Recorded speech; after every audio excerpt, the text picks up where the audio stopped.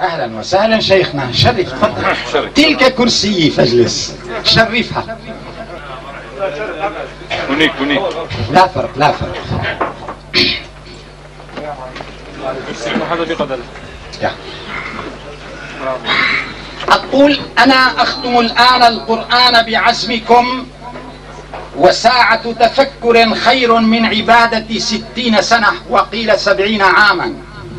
أختم أمامكم بهذه اللحظات والهدية لروح صديقنا وشيخنا وحبيبنا وعمنا. كلمة عمنا إلى كثير دقيقة في في حياتنا. هو أخو أبي وهو أخو الشيخ يوسف داود وهو أخو الذي سماني كامل وهو أخو الشيخ علي حسن وهو أخ وهو أخ لآباء كثيرين ولذلك حقه علي وحق آبائنا علينا. ومن علمني حرفا. وهو قد ربي على معارف حبيبي سعيد الصالح. إذا هم تلاميذه كلهم نعم. نعم من مريدين هنيئا لهم. وهنيئا لمن يذكر بذلك. كما قلت لأحبتي وإخوتي وأخوال أمي في السلاطة. مرتين جئت إليهم وقلت لهم هذا الكلام وكان المقدس المرحوم المغفور له الدكتور علي سليمان كان يقول بعد أن حمل الشريط قال هذا الشريط ثمرة أولى لإحيائنا ذكرى أبينا. 52 عاما لأن الشريط يحمل كلامي الذي قلته حبيب وعيد الصالحين ووالدي وجدي وإخواني كما كنت وجدانا يدينون باللغز يدينون باللغز الذي أنت مضمر. ضميرك راق في أعز خبايانا. مهم. أنا ما أعتذر وأنا لا أرد على أحد ولا ألوم أحد. كان الشيخ ابن عربي آه، يأتيه أحدهم ويحمل كتاب تكفير ابن عربي. يقولوا له سيدنا هذا فلان كاتب عليك كتاب بتكفيرك. يقول لقد عبر عن ما يعلم ولم يذق مذاقي فهو غير ملوم. ولم يذق مذاقي فهو غير ملوم. عفى الله عنه. الله يطور فهمه الله يطور وعيه حتى يشوف. بس هو غير ملوم عندي لأنه عبر عما يعتقده عما فهمه أما أنا من جهتي لا ألومه لأنه لم يذق مذاقي. ما أستطيع أنا أن أعطي بصمتي لغيري. مهم. بدي ختم القرآن. لروح الشيخ محمود أحمد علي إبراهيم مرهش خمسة ما هيك؟ نعم نعم نعم نعم مضبوطة إذا ال... ال... قلنا السورة العاشرة يونس. السورة الثامنة والستين يونس مرة أخرى بس بتلقيبه زي الحوت أو يعني الرمز إليه. الآن ماذا بقي من سور القرآن المئة وأربعة عشرة؟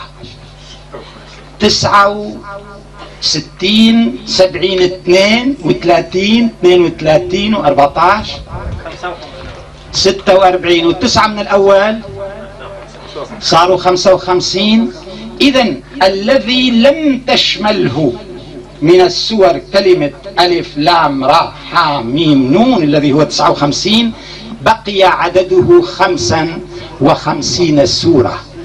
ما هي السورة الخامسة والخمسون في القرآن؟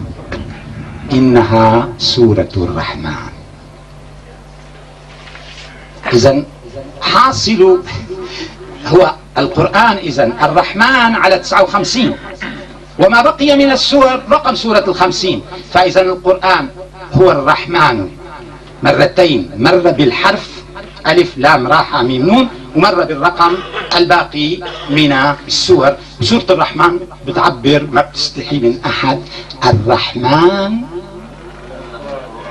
علم القرآن خلق الإنسان علمه البيان. كلنا نحفظ هذا. لكن ما الفرق بين علم الأولى وعلم الثانية؟ هي علمه وهي علمه. مثل بعض؟ يعني ما عنده الرحمن ما عنده كلمة ثانية يقولها غير كلمة يكررها بنفس المعنى؟ آه. أنت ليش ما شفت غير علم وعلم ما شفت أب أب فبأي آلاء ربكما تكذبان مكررة 31 مرة بالسورة ذاتها؟ وهذا عجب. على أي حال أقول علم القرآن يعني حده اقتطعه من اللوح المحفوظ من أم الكتاب أخذ هذه المختارات من أم الكتاب الذي هو اللوح المحفوظ وسماه القرآن. قبل أن يخلق الإنسان. قبل أن يخلق الإنسان. علمه يعني عمل خارطة خارطة وراثة خارطة رسمه. رسمه. إذا الرحمن علم القرآن.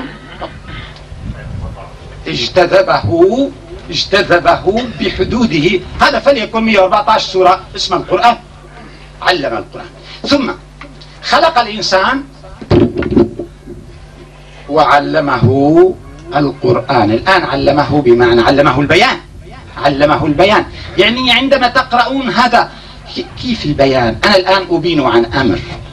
أبين عن أمر يونس الذي هو رمز النفس. كيف تنجو النفس بواسطة القرآن؟ لذلك نختم القرآن عن روح فلان لذلك نتلو القرآن بالمآتم لذلك نتلو القرآن في الأعراس.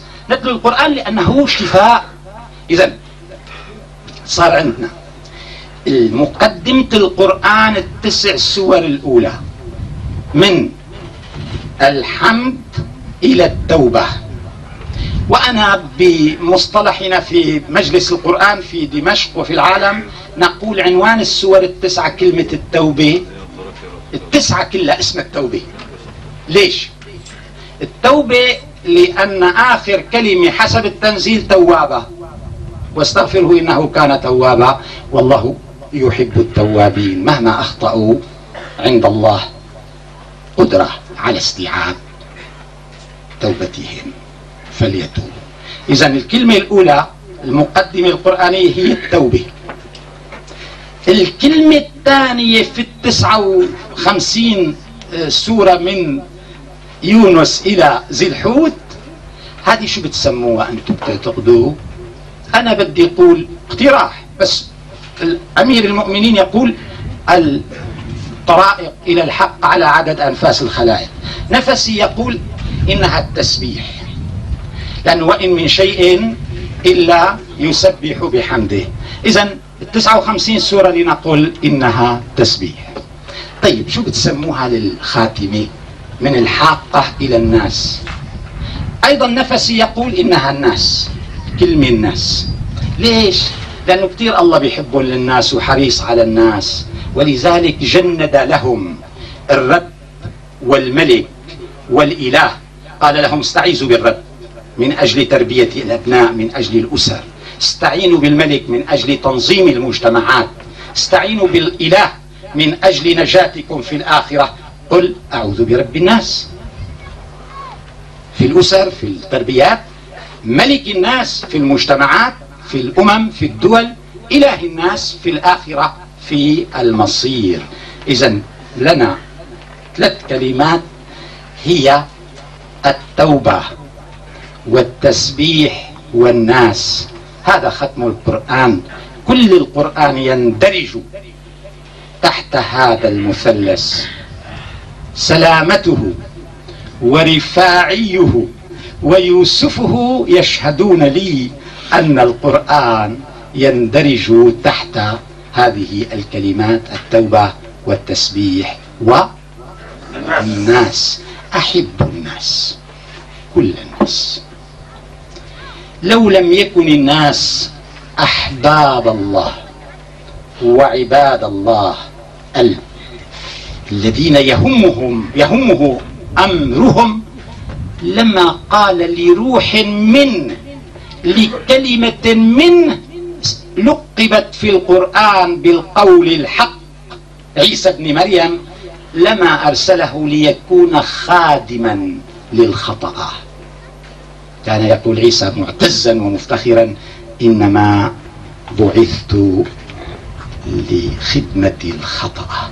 جئت لأخدم ما جئت لأخدم هذا عيسى بن مريم.